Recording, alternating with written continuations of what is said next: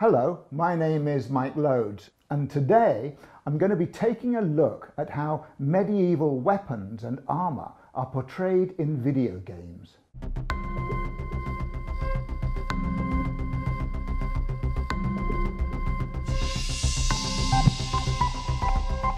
Video games I'm going to take a look at today are Kingdom Come, The Witcher, For Honor, Mordhau, Chivalry, Dark Souls, and Mount and Blade. Let's take a look at how swords are used in video games. Forging a sword, Kingdom Come, Deliverance. Do it. So what we see in this clip is the finishing stages. The blade has already been made. But what I like about this clip is these people clearly are taking care. You know what you're doing. High status swords, they were made by alchemy. It, it's an incredibly sophisticated process. Give it here. And we'll put it all together. Where it goes slightly wrong is where he's putting the grip on at the end. Although it's true that you would heat the tang, that's the little bit that comes up from the blade for, for the grip to go on. What they're doing there is they've heated half the blade. All that art, all that care to get the proper spring temper will have been lost because they, have heated it up and, and thrown it away. And the other little technical problem is when they put the pommel on, that's the, the bit that balances a sword at the end. When they put that on, they, just plop it on. Well, the, the, the, tang, that should come through the pommel, so there's a little bit sticking up. And then you hammer that over and splay it out, peen it out, rivet it out, and that's what holds everything secure and together. This pommel would have fallen off as soon as they picked it up. So little details are wrong, but the feel of the thing is great. It's magnificent. One-handed versus two-handed use of the sword. Dark Souls. If you tap Y when you're in a situation like this, when you have a one-handed sword and a shield, you switch to two-handed. But blocking with the sword doesn't really block. They kind of completely misunderstand how swords are used. It doesn't block 100% of the damage. That's just wrong. Putting two hands on will give you a more powerful stroke. It does not in any way hinder your ability to defend with a sword. When you're using a single-handed, an arming sword with one hand, then, then clearly you're always going to favour your dominant arm because mostly that's going to be the stronger arm. Pens, I know, but, but the mightier than the sword. You don't ever block with a sword. That's not how it's done. I'm using a flat, I knock it aside. I'm keeping a flow. So this idea of, of, square blocking, it may be easier for game developers to create that kind of action, but it's not how it was done. Single-edged swords versus double-edged swords for honor.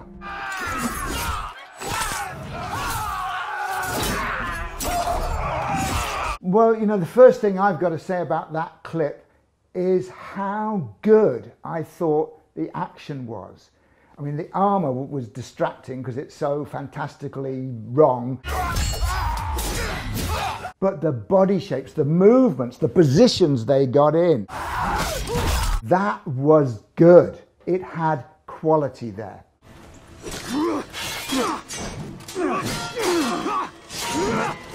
The advantage of a two-edged sword is if one edge is getting a little dull, you can turn it around and you've got a second edge to use. So it can be a considerable advantage on the battlefield that you're keeping one edge sharp. The advantage of a single-edged sword is usually that it's less expensive because you don't have to have such a sophisticated temper. That is authentic. As long as you're gripping tight enough, the sword won't move. And if it doesn't move, it won't cut you. So this person is not able to pull it through this person's hand because this person has taken it and they've turned it into a lever action, removing the sword from their hand. So those kind of blade grabbing disarms are authentic and they are possible, but they require skill and knowledge, and do not try this at home. Throwing a sword, Mordhau. Swords are extremely versatile weapons. That's one of their advantages. You can use them in all sorts of different ways. A powerful man with a powerful thrust, delivering a thrust to somebody's chest could almost stop a heart. You can use it as a lever to unbalance your opponent. You've got that great heavy pommel, that great metal weight on the end, and you can have deflected the sword and use the pommel to smash and punch. Why? Why would you throw it? It is so stupid to throw away a weapon. And it's not even that the person has lots of other weapons. I just can't get my head around the idea of somebody throwing a sword. Decapitation, Chivalry 2. So, what we see here is clearly supposed to be a European medieval battlefield. And so, in that context, you wouldn't see heads cut off in this way. Not least of all because they're wearing armour. For Malric! Could a sword do it? Yeah, you could do it if you were fighting an army of naked people. You know, the neck is one of the first areas to get protective equipment. Even if you've got nothing else, you'd have a mail collar or coif of some sort. One of the ways in which armour defends you is by creating curved surfaces, glancing surfaces. And of course, the body is always moving as well. So you can never land a pure 90 degree strike. You need enough edge just to bite in order to send that energy through. And I don't believe heads fly like that. Decorated swords for honour. It hungers for blood. Obviously, the first thing to say about decoration, it was only ever available to the wealthy, uh, to princes and kings. But it was also much, much more restrained than we see here. It's called a flamboyant blade because it, it looks like flames. What these sharp, wavy edges do is constantly present a curved surface to the hand, so it is impossible to grab it without cutting your hand open, even if you were wearing a leather glove. Occasionally, you will find one that has got some gilding on the crossguard or on the pommel, but you really need to leave the blade as plain as possible because you don't want to compromise the integrity of the blade. You don't want to chisel into it so that you can put gold inlay. You don't want to uh, scroll and etch and pierce and punch or do anything to it. That blade needs to perform to save your life. Leave it alone. Wearing a sword on your back. The Witcher 3. So here we see a really familiar trope, which is the sword being carried on the back in a European medieval setting. It did not happen. The type of sword they're using here looks similar to what we would call a medieval longsword, which, which is a sword that you use with two hands, would stand about that height you just can't actually get it out, a sword of that length over the shoulder. Swords are worn in scabbards at the hip, and outside swords, very, very, very long swords, are carried over the shoulder. It's just that simple. Parries for honor. So for this one, we actually pushed as much as we can to cover the, all the uh, parts. It all starts by getting the armor wrong. By trying to give a sense of, of bulk and therefore presumably menace, they're amplifying the size of the armor. Look at those shoulders! And making these creatures into these great sort of automatons who, who move in a very awkward and, and, and lumbering way. This idea of wide swings and opening yourself up and then, you know, 15 minutes later landing the blow, it has nothing to do with reality. The art of sword fighting is constantly keeping yourself covered. They weren't lumbering, slow fools. They were martial artists, athletes, lightning fast reflexes, who had a system, a fighting style that was immensely sophisticated. Next, let's take a look at axes. Throwing an axe, Mordhau.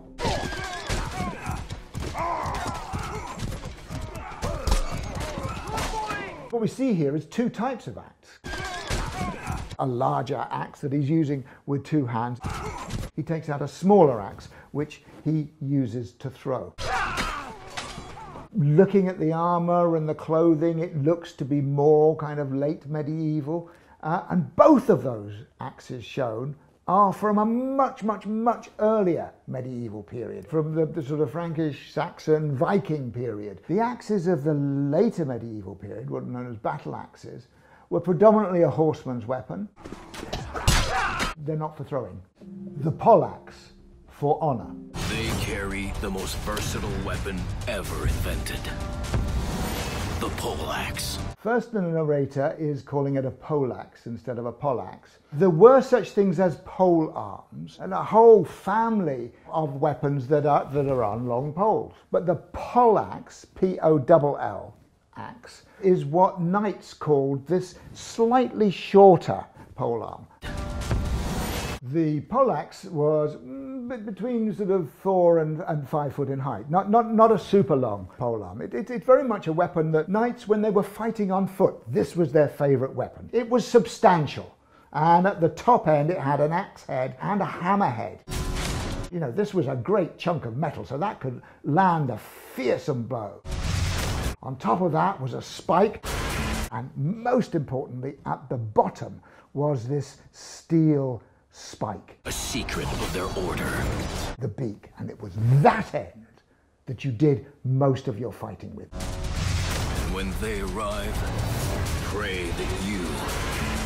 One of the great advantages of the poleaxe is it has reach and you can really work at close distance, at long distance. And when you get in there, you can use that shaft as a lever they're doing it here, and that is right. That is straight out of the manuals that you get that in there, you get it behind their legs. It's the right spirit of the thing. Let's see how bows and arrows are portrayed in video games.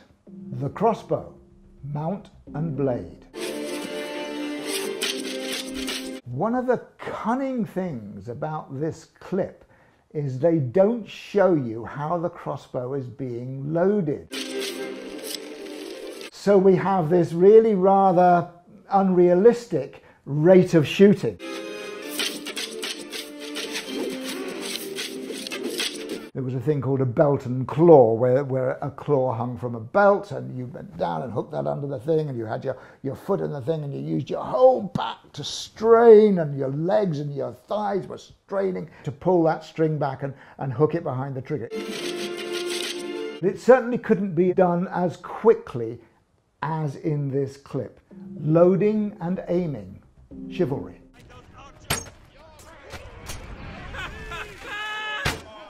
There are two stages to preparing a longbow to shoot. The first one is what we call nocking. that's the, you know, the little notch at the end of the arrow and getting that fitted to the string. In this clip, the speed of getting the arrow onto the string was credible. That, that, I could shoot that fast, maybe even a little faster. What takes longer is the second stage, the drawing back. You're drawing a longbow from your feet to your neck. Every muscle is engaged in pulling that string back, and you pull it back here behind the ear. A longbow is a powerful weapon. 180 pounds, maybe even 200 pounds draw weight, the amount it takes to pull that string back.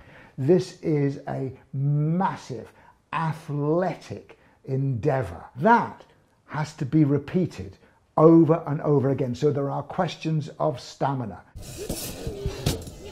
Although we don't see very much of him, we can see part of his archer's equipment, which is a leather bracer on the inside of his left forearm. And what it's for is it's for string slap. As the string comes through, it just can catch that arm. Just get a snap. If you've got a 150, 180, 200 pound longbow, I can assure you that string slap, you never want to pull that bow back again. Flaming arrows, chivalry 2. So it looks great, doesn't it? We see these incendiary arrows like lightning strikes streaming across the sky. My experience with flaming arrows is they don't stay alight in the sky looking quite so wonderful as that, but they do work and they did exist. Does it have any practical military function and is it real? Well, you certainly wouldn't use them in an open battlefield like that uh, because it's pointless. What are you going to do? Set individual people alight as a bonus because you've already killed them with your arrow? You would use them in sieges and in terror raids. Fire has always been a dreadful, awful terror weapon. Let's look at some other medieval weapons that are popular in video games. Spears, Mordhau.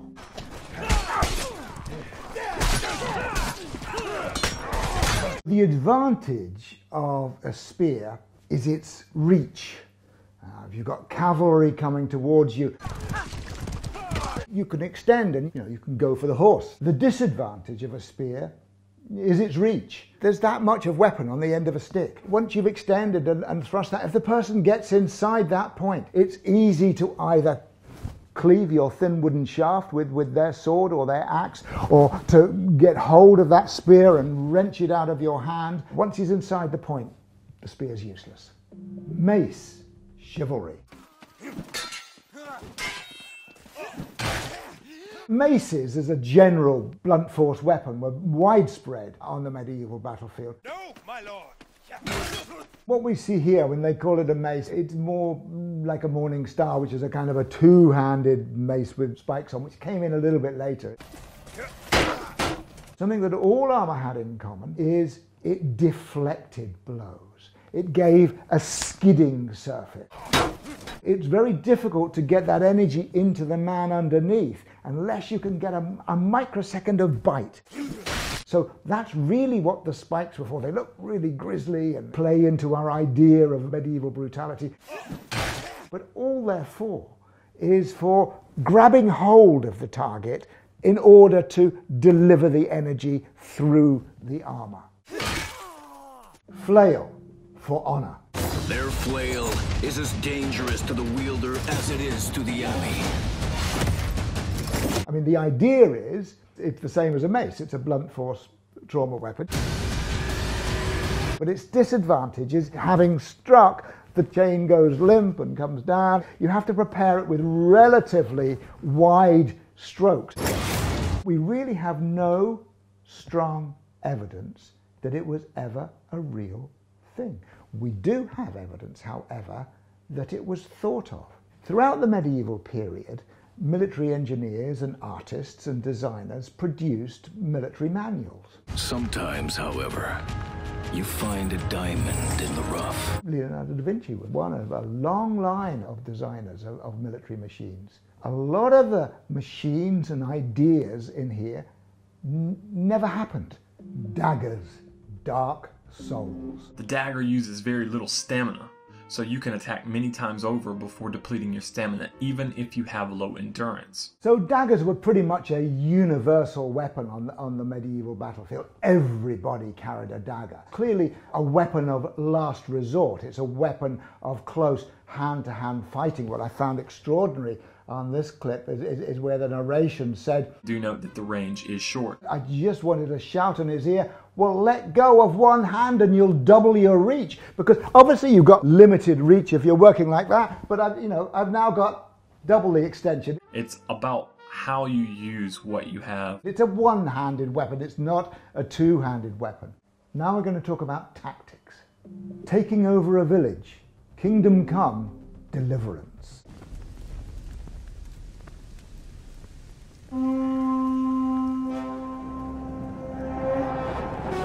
This clip had the, the, the, element of surprise, and you know, for any attack on a village to be successful, it needs an element of surprise.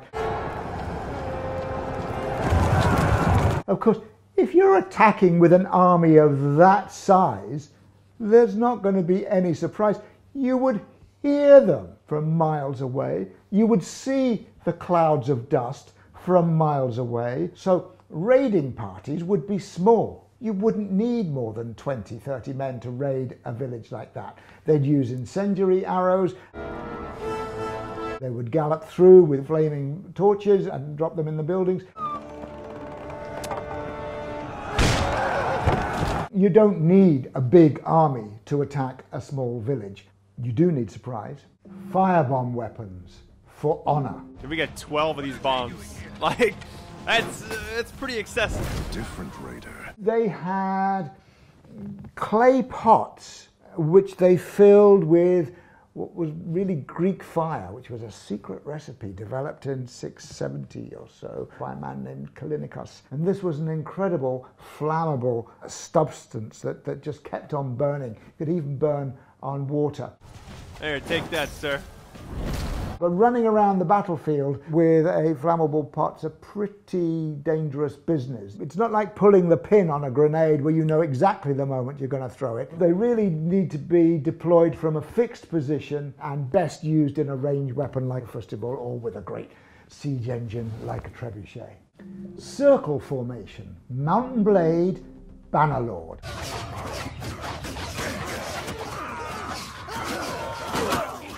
In a certain cavalry situations, a circle formation is exactly what you need, especially if you're outnumbered. The Scots called it the schiltron. In fact, they pioneered that technique.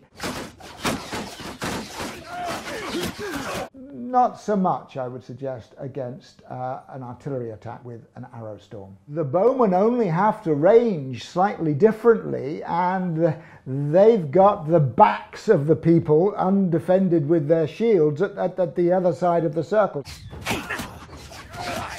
But it's like, come and get me, shoot me in the back. I wouldn't choose a circle that size because there's so much room in the middle. You could, you could get quite a lot of horsemen smashing through the line of two that you've got there, and they could wreak havoc round the backs of, of the other troops.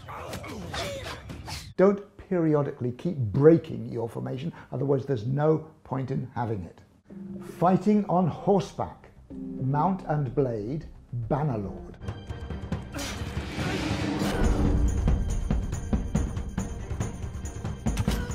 Cavalry can be used in two main ways. You have heavy cavalry smashing into a mass of troops for the impact charge, and you have light cavalry with swords or bows or even light lances skirmishing or raiding or, or, or just harrying troops on the battlefield.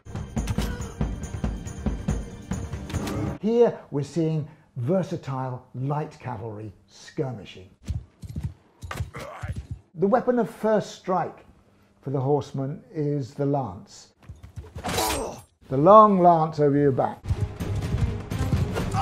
That's the cavalry charge. But it's a one strike weapon. It's one kebab each and you're done. Its greatest benefit is not just the speed of delivering attacks, it's the ability to pull back and come again. It's that ability on a horse that you couldn't even begin to match with a man on foot.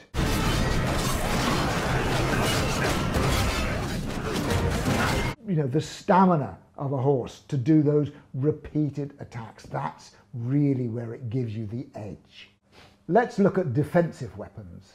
Shield shapes, Mordhau. Today I wanted to talk about shields in Mordhau. The earliest type shown in, in this clip is the kite shield. You can easily block pretty much anything in front of you. A sort of Norman style shield from the sort of mm, 11th century. By the 12th century, it had already gone out. So it, it has a very limited time period to a very specific culture. The kite shield is a much larger shield that pretty much envelops the entire body from head to your shins. Gradually, that shield gets shorter and more compact as armor for the lower leg gets better and you end up with what's called the heater shield. Very good for protecting the upper torso, especially when you're on horseback. And you need that extra layer of protection to withstand the extraordinary force of being struck with a lance by a man on horseback. Moving on to the parry shields, we have the Targe and the Buckler. The Targe, a round shield. This one is specifically a kind of Scots weapon. It's, it's smaller than the Viking round shield. It had, you know, more maneuverability. Rather than just blocking with your weapon, you simply block with your shield. The Highland Scots were famous for their charge, running in their kilts across the heather. You don't want something clumsy, you want something light. But they're facing arrows. That's what shields are for. They're for facing arrow storms. The buckler and the targe have very minor differences between them, but function exactly the same. In terms of size, they have the exact same block radius. The type of shield that is used almost exclusively for hand to hand fighting is the buckler. This was a specialist little shield, little round shield completely faced with steel, a little steel fist. You use it like a fist. You punch the enemy's weapons away. A sword's coming in here, you punch it away. Very skillful, but very fast flowing way of fighting. The final shield in Mordhau is the Pavis. The Pavis, complete polar opposite of the buckler. The Pavis is a static shield. It just sits there. It can be placed down pretty much anywhere on a flat surface or even rough terrain. It's what crossbowmen carried on their backs, set up on the battlefield, because they had to shelter behind something to work the claw mechanism of loading their bows. It was a, a question of different shields for different fields, but they all had a different purpose. Armour, Mordhau. The most important thing about armour is that it gives you as much protection as possible. The second most important thing about armour is that it allows you to fight as well as possible. What I love about this clip is that it starts with a knight running whilst wearing armour. That is a reality. A knight would be able to run, to sprint in armour. Boucicaut, one of the generals of the French army at Agincourt, he was known to go for a mile run in his armour every morning. The drop kick is probably a little bit fantastical, but armour was designed for the fighting man. The way we see a sword slicing through armour, that, that's just plain fantasy. It's fine as fantasy, but it's certainly not a reality. So there's a lot of different types of armour. Plate armour, the type we're seeing here, a second skin of metal, an exoskeleton of metal where the knight became a walking work of art and it was tailored to precision so that every joint articulated. The most vulnerable points are those articulation points. So if you're raising your sword to strike, then that is more vulnerable than the bit covered with a plate. But they had things called besagews, which, which are little metal discs. They had solutions to these problems. So there is this constant trade off between weight, articulation, and protection.